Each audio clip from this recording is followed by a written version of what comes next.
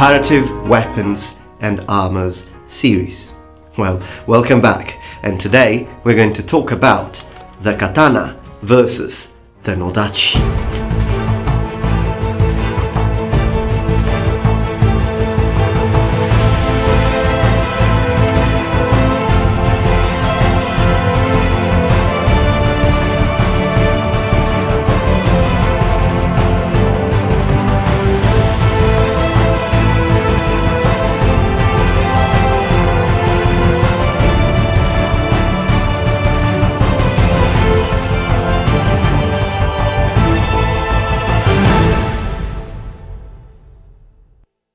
Hello so welcome back to my channel, this is the Metatron speaking and goodness gracious I've got a lot of series going on at the moment but it's not a problem, I can take it, I can dig it, I'm enjoying this and these series have been rather, like this specific series about uh, comparative weapons and comparative armors is going quite well so I'm happy to continue it. And soon I will be um, buying a Nagamaki so we will have a lot more comparative videos, where we will have both um, these sort of academical intellectual videos where we speculate and talk, um, but we will also have actual practical videos of, for example, Nodachi versus Nagamaki. That's gonna be an amazing video. Um, I'm not sure when I can get the Nagamaki because of course my uh, purchase of the Nagamaki is dependent on the Patreon support that I receive from donations but uh, uh, at the moment it's going well so I think it shouldn't take too long until I reach the uh, amount, the necessary amount to actually order a Nagamaki. It's going to be good. Alright so right on topic, differences between Katana and Nodachi. Well first of all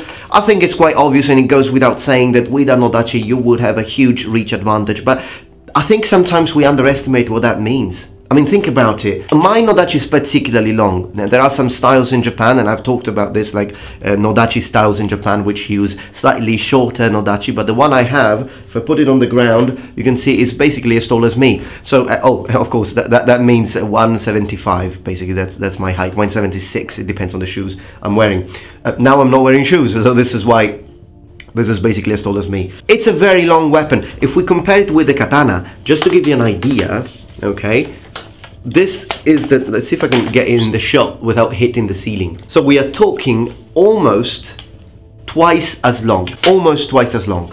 Now, this is not the difference between a shorter sword and a longer sword. This is the difference between a sword and a polearm. Given the Nodachi doesn't always handle as a polearm, um, sometimes it can be used in a similar way, but most of the times it has its own way of being used, uh, depending on the style. Um, I myself noticed that it is rather more effective, in my opinion, to use the Nodachi from a Jodan no. Um, I find that to be much better because of the extra mass this weapon has on its blade.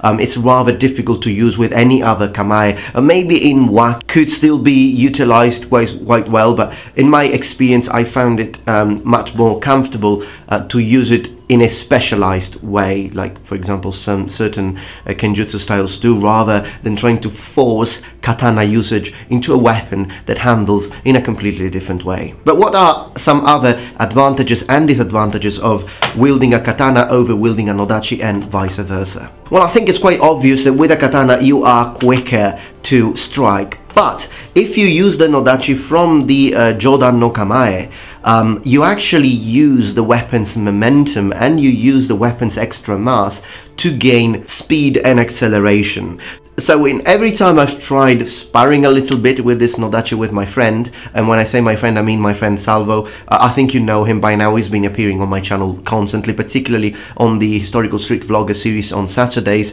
Um, he often uh, fights with me, spars with me, and I will actually start making some of this content available on YouTube eventually. But the idea is, every time we tried this, we noticed that if I come, for example, if I'm a samurai, okay, and I'm wielding this, the nodachi, let me put the katana down for a moment, and I'm wielding, wielding this beast here, okay, and I am just, just let me show you. Okay. I'm a samurai and I'm running towards you, holding the weapon in a Jodan no Kamae, which now I can't even get, do properly because of the ceiling, so you'll have to excuse me that uh, there. But if I run towards you this way, the speed I will have to actually deliver a full attack um, is not that slower than a katana. It becomes slower when I try to do other things, like for example, um, even some, some thrusts or some other kinds of cutting. But cutting from a Jodan no Kamae can be they can be quite quick themselves. What's difficult is to recover from those. So if I fully commit to a blow from a Jodan no Kamae slash from a Jodan no Kamae with an Odachi and I miss, that's going to be problematic um, because recovering and putting yourself again in, in, in a guard position it's not easy, but it's not impossible. In, in with training, um, I think you could speed up that process as well. But what's interesting is defense against a katana and defense against an odachi. We often imagine that, for example, there are many ways, of course, to defend from an attack, okay, a sword attack towards you. But if you think of just simply putting your sword like this to intercept a cutting motion coming towards you. Well, if the opponent is wielding an odachi, you don't want to do that. We have tested this with my friend, and what happens is, uh, let me explain it to you, but let me put this, the, the beast down for a moment. I gave my friend a full um, helmet to protect his head and then he just stayed like this and I told him just stay as strong as you can and then I smashed my Nodachi on top of his uh, of his katana. What happened is that he couldn't he, he couldn't make it. Like the extra mass of the weapon forced not only my weapon I hit. So I, I just went past broke completely his guard. But his weapon hit him as well. It was like a double hit. It was like completely. So it's it's a weapon that you you need to uh, perform other kinds of counters. You need a completely different way of defending yourself, like other ways which exist, like you know, like trying to put the uh, the strength of the opponent, the force of the opponent away from you. Otherwise, um, it's just it's just not gonna work. Like we do see some of these um, techniques sometimes in kenjutsu styles where they just you know block and perhaps and they just um, retaliate. But uh, against an odachi, you're gonna have to reconsider your tactical choices in combat. So this is definitely a an advantage of the Nodachi. It's difficult to block. You need to be really good at blocking because when the attack comes in full force with the extra mass it has, it's gonna be it's gonna smash into you. Also, there is the whole psychological aspect of the Nodachi. I mean, the Nodachi is an imposing weapon, and you have to imagine, imagine for example, two samurai in feudal Japan, and they're going to have a duel. One wields a katana, while wields, one wields a Nodachi. The one with the Nodachi, the one with the katana needs to have a very strong psychological calmness, you know, the mushin sort of, uh, because otherwise, when you see uh, someone coming running towards you with this beast, um, it's it is scary. It can be scary. So it does have a psychological factor, and you, we shouldn't imagine. Although some samurai were masters of you know calmness and everything, yeah, I'm sure somewhere the whole Zen Buddhist uh, situation and idea behind combat but not everyone was. And imagine, for example, if you were on the battlefield, because the Nodachi was a battlefield weapon, and and you were an Ashigaru, and perhaps you lost your pole arm, and now you've got your backup weapon, which is a katana, and you see a samurai in full armor running towards you with an Odachi. That's gonna be one heck of a scary image.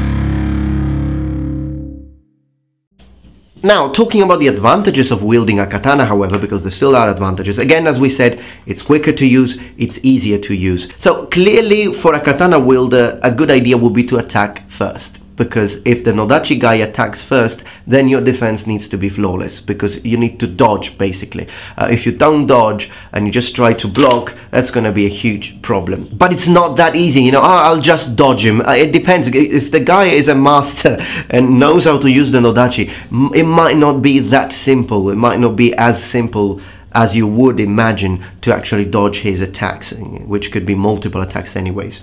So anticipation might be key but of course you need to be really good at this. You need to be really good. So again i think anticipation probably while dodging. So you're like you know you manage to do a draw cut cut him here but also get out of the way. Otherwise um, you know his attack is still coming is still gonna land. So yes maybe you cut him open but he's gonna open your head in two. Preventive attack timing and speed are going to be key. Alternatively another possibility could be to tire your opponent down a little bit, like try to avoid him um, dodging. That could be a possibility because again, I have wielded the Nodachi and it does it does tire you down. Again, not because it has whatever extreme weight, it doesn't. It doesn't weigh more than two kilos, so it's not like a lot heavier than the katana, but the whole mass is towards the blade, so it's really tough to recover. It forces your, your muscles to, re, to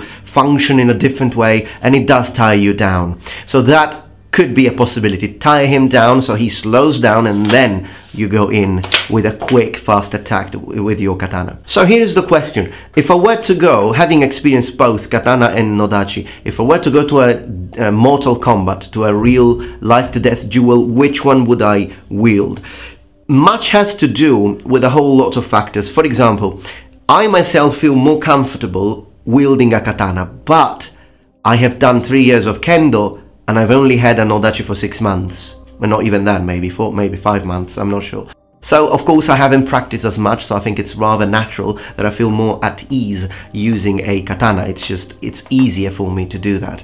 But perhaps with practice I might get used to the nodachi. In fact, I have to say that when I first started wielding a nodachi, it felt like, whoa, this weapon is badass, but I would never want to use this one in a real combat situation because it's just too unwieldy. But with time, I started, you know, the weapon started growing on me. I'm starting to understand how the weapon functions and what muscles and what stances work better and I started exploring the weapon. So I imagine that with time, if I were to practice constantly using an odachi, I might become quite efficient at using one and so could have a samurai of feudal Japan. So at the moment I would choose a katana over an odachi but that's probably just because I haven't practiced much so perhaps I will answer back I will go get back to this question if you give me another six months so I can keep on practicing and see if I actually manage to start liking this weapon more than an actual katana. Secondly, um, in a armored duel, so if I was fighting against a samurai in full armor and I was also wearing full armor, which one would I use? Well, first of all, I would use a kanabo, but if the kanabo was not available, then I would still choose the katana. Why? Because yes, the extra mass of the nodachi might be good if you smash it against the helmet of your opponent, um, because perhaps it might stun him but on the other hand is quite thin the blade. So it wouldn't achieve as much as a kanabo would for example. Whereas with the katana what I would try doing it being easier to handle um, I would try thrusting and try to find uh, those areas such as the you know thrusting in the throat thrusting under the armpit which would be rather difficult to do with a nodachi. So definitely not for armored combat. Um, for that a katana would be a better choice and perhaps even a tanto. Like if I really was having to uh, fight a, a samurai um, and we were you know exchanging blows, I might switch into a tanto and go for actual hand-to-hand combat, jujutsu, put him on the ground in and stick the tanto in his throat underneath, underneath his mempo if he's wearing one. If he's not wearing one, then it would be even better. But you know that sort of precision strike, that sort of the sort of precision you need in armor to ar armored combat, uh, then Nodachi would not be a good choice. Definitely a Kanabo would be if you really want to go for devastating attacks. If not, a Tanto would be a good choice in my humble opinion. Last but not least, what is my opinion on what Miyamoto Musashi says in the Wind Scroll, because in the Wind Scroll, as I have made a video about it, Miyamoto Musashi does talk about extra long swords, and I believe he's meaning he's talking about Nodachi. Now, he's not particularly fond on those. I think that's quite clear from what we can read. But I don't Totally agree. I mean, I understand why, and at the end of the day, he's dual wielding anyways, so uh, for him it wouldn't really make sense to wield an Odachi because you can't dual wield with an Odachi, so I can understand the tactical choice there. On the other hand, I, I do see some positive aspects in, a Nodachi, which he doesn't seem to see. Um, so I don't 100% agree with what he says. At this moment, I would still agree with him that I would go for a katana in a duel rather than a Nodachi. So the extra length and the extra range I gain with a Nodachi is at, at the expenses of other very important aspects of dueling and combat and actually controlling and operating your weapon. So at the moment, I don't see an actual balance in what I gain against what I lose. But again, I still need to practice with it, so we will get back to this in a few months and we'll see if my opinion has changed on the Japanese Nodachi.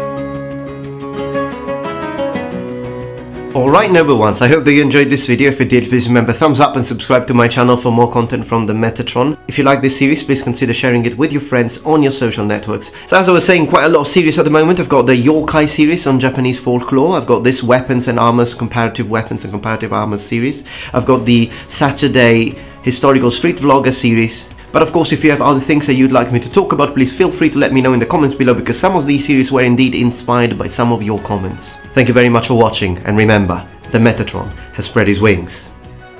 Saraba!